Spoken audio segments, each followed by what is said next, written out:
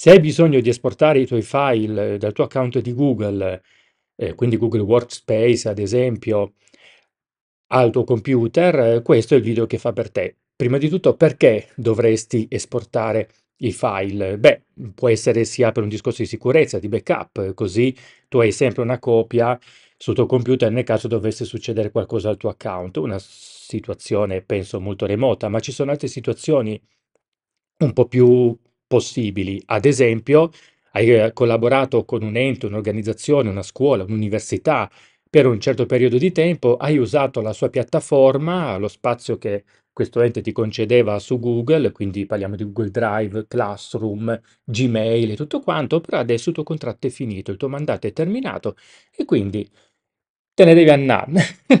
e, mm, e però giustamente pensi, d'accordo, ma tutta la roba che ho lì, che me ne faccio? Come faccio a non perderla? Perché da lì a un po' probabilmente ti chiuderanno l'account e quindi tutto scomparirà.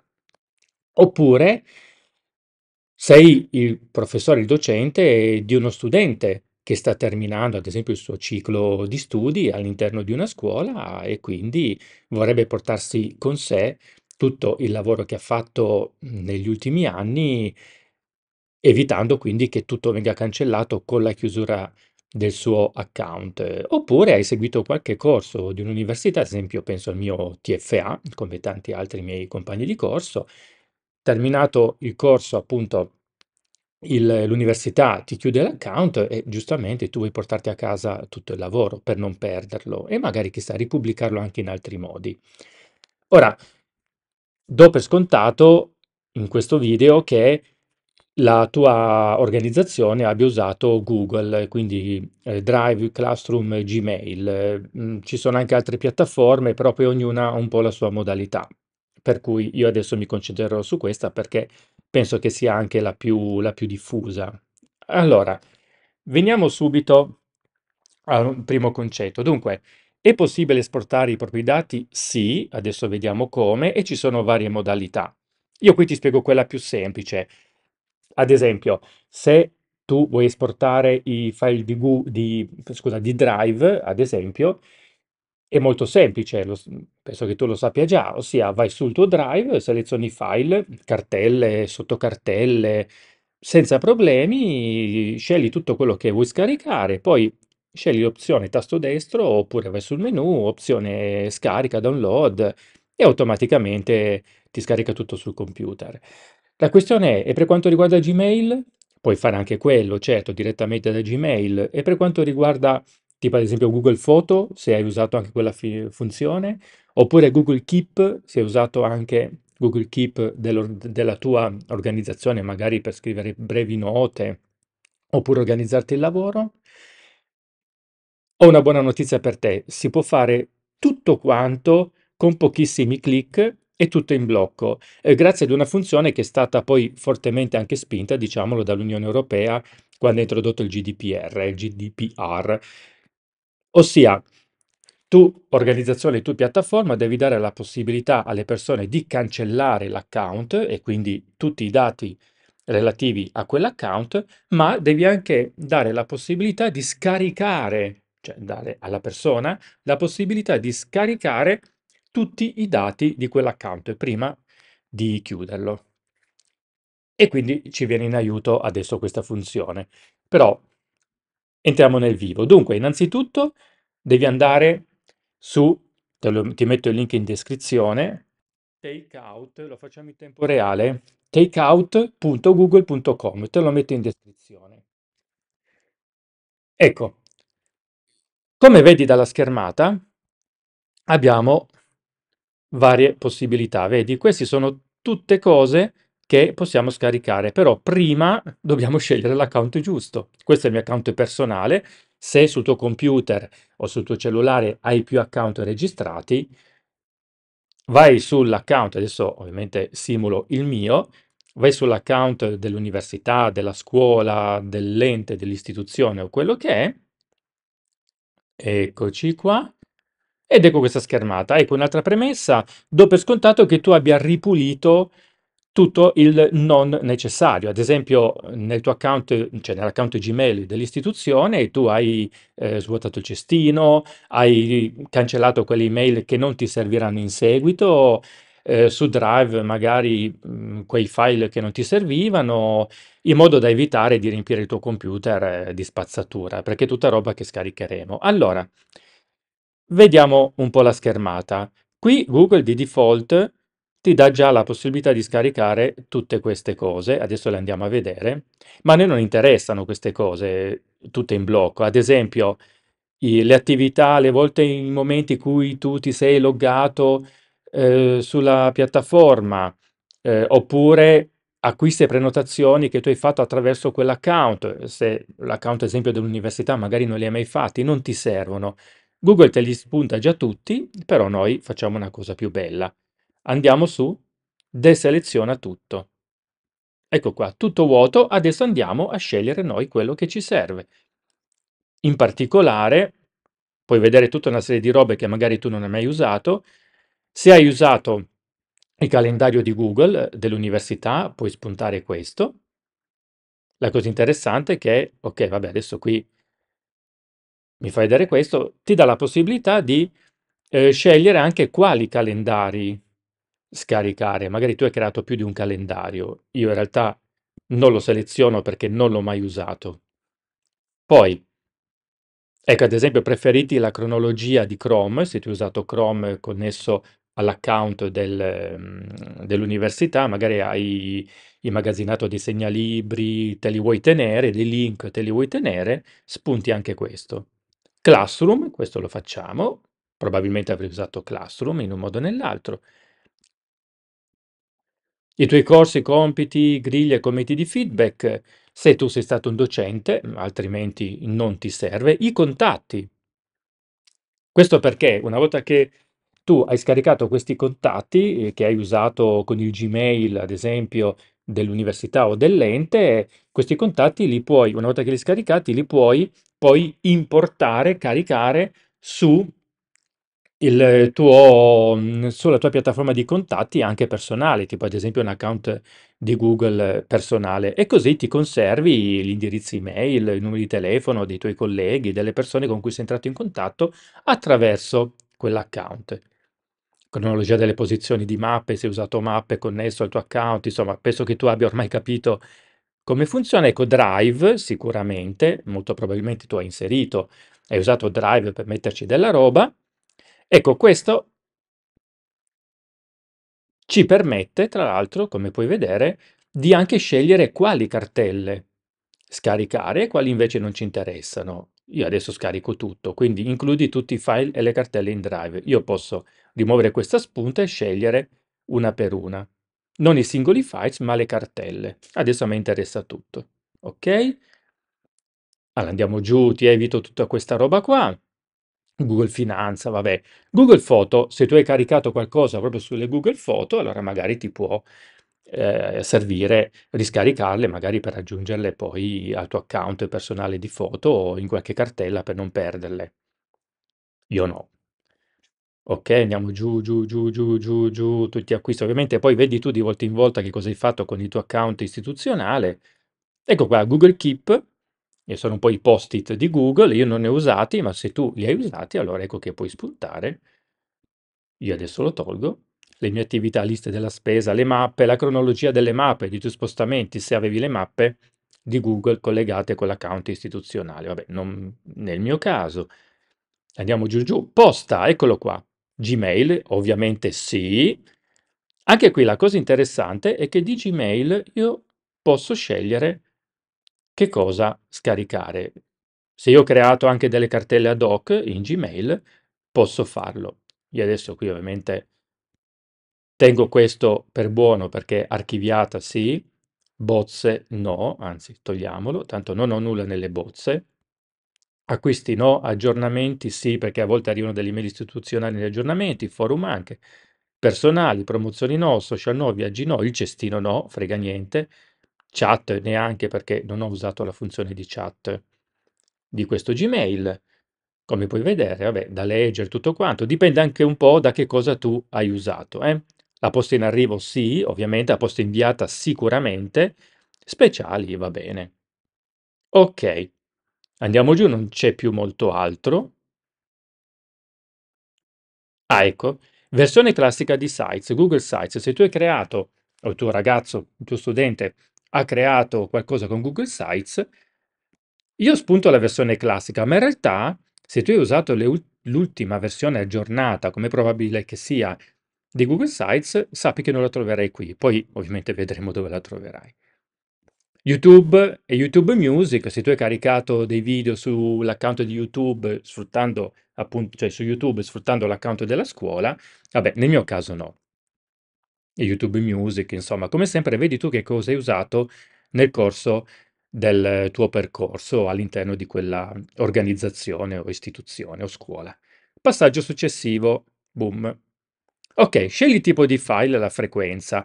Questo perché Google ti permette, con questa funzione, ti permette di avere dei backup anche periodici. Ad esempio, tu puoi dire, io voglio che ogni due mesi tu mi faccia scaricare tutto ciò che ho fatto fino ad ora. Ok? In questo caso, siccome stiamo pensando alla chiusura dell'account, vabbè, innanzitutto invia email, tramite email il link per il download che arriverà sull'email, ovviamente quella istituzionale, quindi non chiudere subito. Oppure io volendo posso fare in modo che tutta questa roba mi venga automaticamente immagazzinata su Drive o su altre, o su altre piattaforme. Ti sconsiglio di mettere aggiunge Drive perché di nuovo te lo mette sul Drive dell'istituzione, ma se la tua idea è quella poi di chiudere, eh, che senso ha? Meglio il link per il download. Ecco qui la ripetizione, vedi, esporta una volta, nel nostro caso, esporta ogni due mesi per un anno. Quindi ogni due mesi ti arriverebbe il link. Tipo di file che ti arriva da scaricare.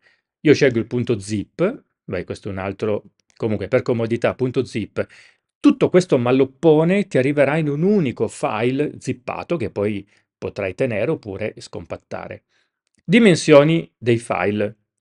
Standard 2 GB, in genere metto questo, tu puoi scegliere praticamente, eh, ad esempio io ho messo 2 GB, se nel mio account ci sono più di 2 GB di roba, di contenuto, allora Google mi darà da scaricare due file, uno da 2 GB e uno per la parte rimanente e così via.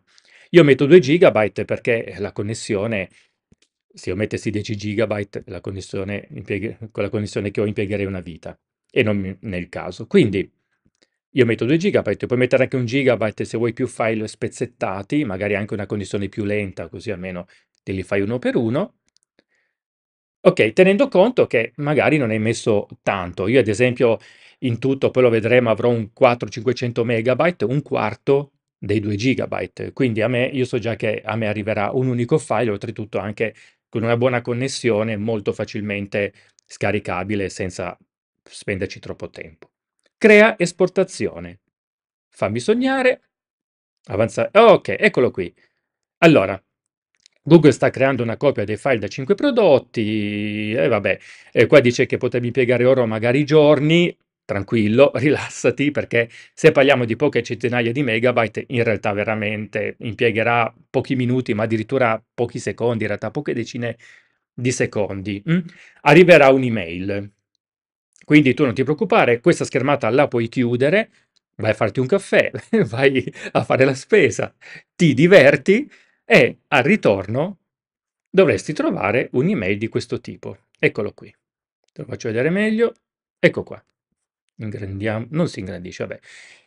Quindi, come vedi, qua c'è il download conterrà i dati di ta ta ta, tutto quanto, Puoi scaricare i tuoi file fino al giorno, vabbè, 25 giugno, perché questa è un'email che io, una prova che io ho fatto ieri, vabbè. Comunque ti dà qualche giorno di tempo, dopodiché questo link per questioni di sicurezza non funzionerà più. Comunque, vai su scarica i file, si apre la finestra del browser, eccola qua, la schermata degli scarichi, ecco, hai visto, hai notato che è già partito, eccolo qui, uno scaricamento, 576 megabyte, un download, e ci vorrà un po', io adesso non sono in una connessione particolarmente performante.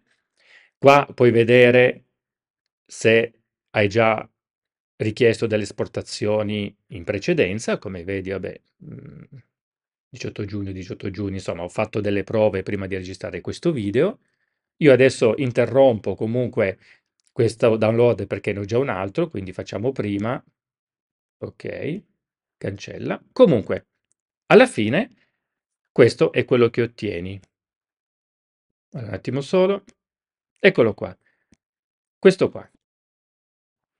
Ok, questo è il file zippato, 1 in questo caso, che abbiamo richiesto. Vedi takeout e poi c'è, ci sono dei codici, c'è il giorno, la data con il giorno, il mese, l'anno, eh, l'ora in cui abbiamo richiesto il download, insomma, robe, robe sue. mm. Essendo un normalissimo file zippato, basta cliccare e vediamo il contenuto che sta dentro. Ed è questo, nel, nostro, nel mio caso, aspetta che lo ingrandisco, nel mio caso è questo, vedi? C'è tutto quello che abbiamo chiesto, Classroom, i contatti, Drive e l'email. Archive Browser in realtà è una pagina web locale che se io la, la apro posso navigare all'interno di, di queste cose, come se fosse un sito internet in locale. Vabbè, frega niente nel nostro caso. Però attenzione, qua viene il bello, attenzione, Classroom io avrei potuto non metterlo perché in realtà qua compaiono solo dei dati delle varie classi. Quindi non sono i file, tipo i PDF, i PowerPoint che tu hai messo nella Classroom. Io te l'ho messo solo come esempio. Adesso vediamo dove vanno ad infilarsi, eh, perché ci saranno contatti. Questo è importantissimo, tutti i contatti, ok, c'è solo un file che però comprende tutti i contatti che, che io ho registrato in qualche modo nell'account, in quell'account istituzionale. Questo è molto importante perché, come ti dicevo, questo file .vcf io posso prendere qualunque altra applicazione che utilizzo per i miei contatti, ce lo carico sopra e me li importa. Così io non li avrò perduti. Mm? Ok. Drive, e qua viene ovviamente il bello. Eccolo qua. Mi ha tenuto il cestino, vabbè. Okay, vabbè, sì, c'è un po' di roba, ma tanto poi posso cancellarlo, tanto queste sono cartelle, anzi lo faccio subito perché non frega niente. Eccolo qua il nostro classroom. Visto? Ci sono già dei file, questi sono file in HTML, che praticamente sono dei file un po' riassuntivi. Comunque adesso vediamo, ecco qua. La cosa interessante è tutto quest'altro drive, vedi? PDF, doc. La cosa interessante di, questo, di questa modalità di esportazione con Drive è che, vabbè, mm, ma è anche la stessa modalità che utilizza se voi andate su Drive e fate scarica, se tu vai su Drive e fai scarica.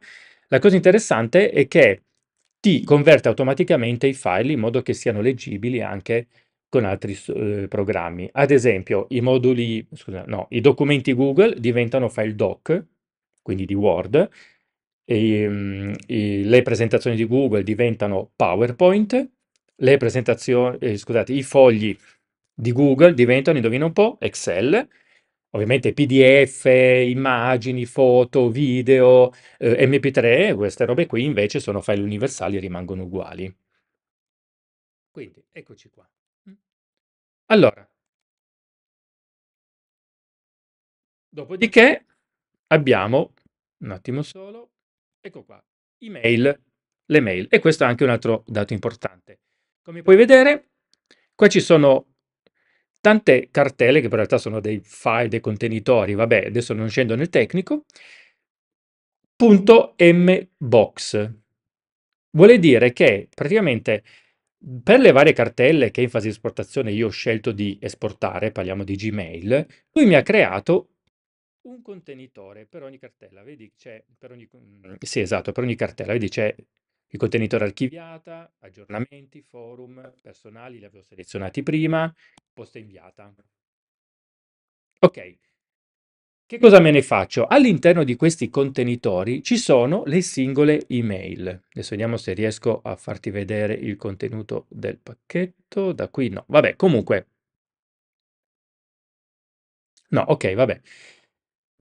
La cosa interessante, vabbè, adesso non ci interessa questa cosa, la cosa che ci interessa è che questo .mbox è un formato standard universale per le, tutte le email. Quindi vuol dire che io posso a questo punto o tenermi queste email archiviate nel mio computer, nel caso mi dovessero servirmi, apro e me le vedo e le recupero, oppure posso andare su un altro account di Gmail, ad esempio magari il vostro personale o qualunque altra piattaforma di posta elettronica e importare ogni singola categoria. Quindi vuol dire che quelle email le avrete all'interno della vostra nuova casella di posta elettronica e a quel punto potrete fare tutte le operazioni che potete fare con una normalissima email. Questo è molto molto interessante.